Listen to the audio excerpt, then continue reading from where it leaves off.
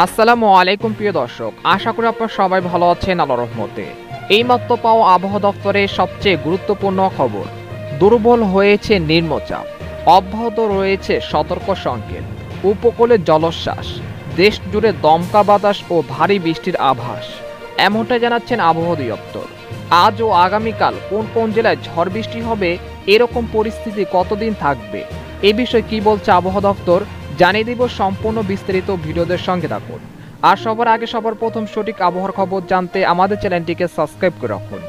এবার জেনে নিন এক নজরে ভারতীয় স্থলভাগে থাকা সুস্পষ্ট লঘুচাপ আরও দুর্বল হয়ে লঘুচাপে পরিণত হয়েছে। তবে এর প্রভাবে দেশের উপকূলীয় এলাকায় আজও দমকা বাতাস ও ভারী ঝড় বৃষ্টি হতে পারে। এই জন্য সমুদ্র বন্দরগুলোতে তিন নম্বর স্থানীয় সতর্ক সংকেত বহাল রাখা হয়েছে।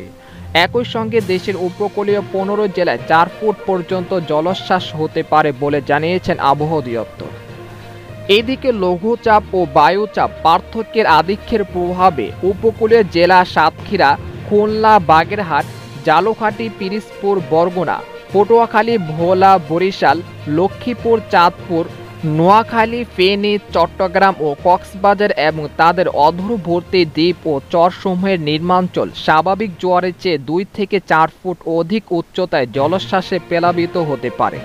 সেই সাথে এসব অঞ্চলের কোথাও কোথাও মাঝারি থেকে ভারী বর্ষণও হতে পারে। এদিকে গতকাল সকাল ছয়টা থেকে আজ সকাল ছয়টা পর্যন্ত গত চব্বিশ ঘন্টায় সবচেয়ে বেশি উননব্বই মিলিমিটার বৃষ্টি হয়েছে পটুয়াখালীর খেপুপাড়ায়।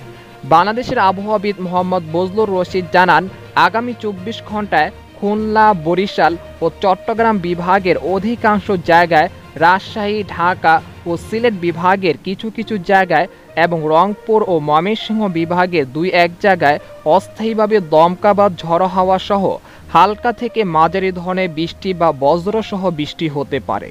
সেই সঙ্গে দেশের দক্ষিণাঞ্চলের কোথাও কোথাও মাঝারি ধরনের ভারী থেকে ভারী বর্ষণ হতে পারে। এই সময় সারা দেশে দিনের তাপমাত্রা